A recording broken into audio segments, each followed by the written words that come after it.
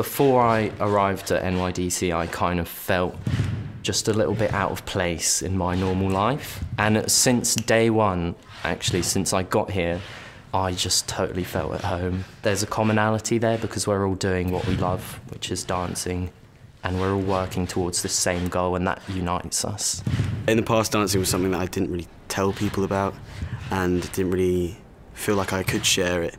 So coming to NYDC was somewhere where I could just share my passion for dance. When I arrived at NYDC, I was quite overwhelmed by how individual everybody was. There were so many different styles and backgrounds and experiences. I did find it quite intimidating at first because you do compare yourself to other people a lot when you see how amazing everyone is. At first, it can be really hard to feel good about yourself when you're surrounded by so many like amazing people. Um, but with NYDC, I feel that you learn to let the talent and the individuality of everyone really inspire you instead of like deflate you. You kind of see that everyone's got their own qualities and you've got your own quality. I'm interested in how personality comes out of a collective experience, and I'm, I'm interested in, in this separation between I'm part of a group, but also what makes me unique. We have very various cast. They're all coming from very different backgrounds, very different training. They, it's probably people that would never be together if they wouldn't be here. And I, I, when we auditioned also the company, we felt it would be important that there's a really singularity, singular people. I'm not interested to create just a group of like and make everybody look the same. Although at the end, what we look is to is the common rhythm and um, is to be part of something, part of something bigger than yourself. Dancing in a group is like being one body, uh, especially because we do a lot of dance that involves breathing. So it's almost like we are creating this one being. The energy, oh my gosh, it's, it's quite overwhelming. it's just a bit like sometimes you have those moments where you're like, wow, like there's so many of us. I find it really empowering, like when we're all dancing together. We're like a powerful, uh, strong group, like we're the warriors.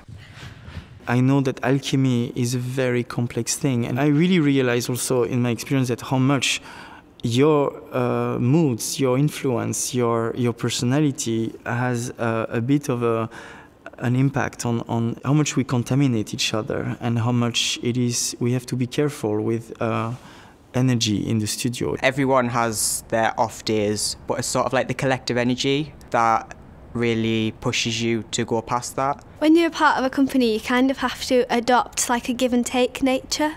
So you're learning from other people, but you're also kind of helping other people as well and teaching them.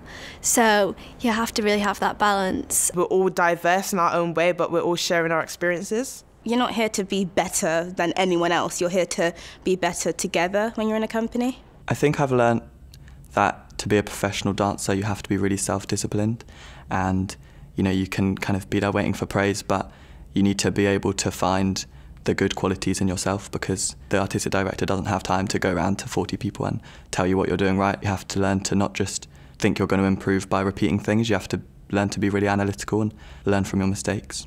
Um, it's a lot harder than other things I've done in the past. It's overwhelming for everybody because there's such an amount of information because it's a very short process to make a full evening work. I put myself in their shoes sometimes and I'm like, oh my God, that must, be, that must feel too much.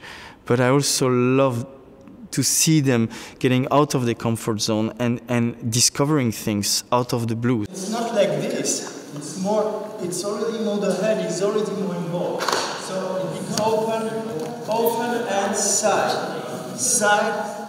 What I love the most is see how much when one discovers one thing, the whole group goes like, yes, and it feels like it, it becomes a hero for a second. And this generosity, I wouldn't say disappear after, but definitely gets dimmed a little bit. And I don't see competition. I feel just a, a sense of, uh, of yeah, of real support. What makes a good company? Uh, I would say uh, diversity uh, is a strong tool uh, of a good company. Collectiveness. I think collectiveness is is the key to a company. I'd say compassion would be a strong one.